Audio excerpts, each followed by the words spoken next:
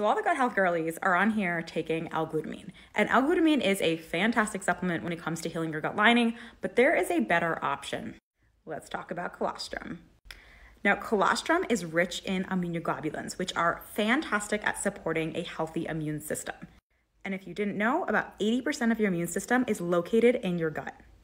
The problem is, if you are someone who's experiencing a lot of digestive issues, I guarantee your immune system is working in overdrive, especially if you're experiencing leaky gut.